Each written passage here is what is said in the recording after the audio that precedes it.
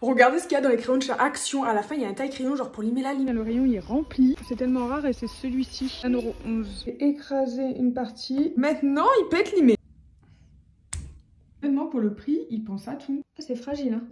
Ça lime là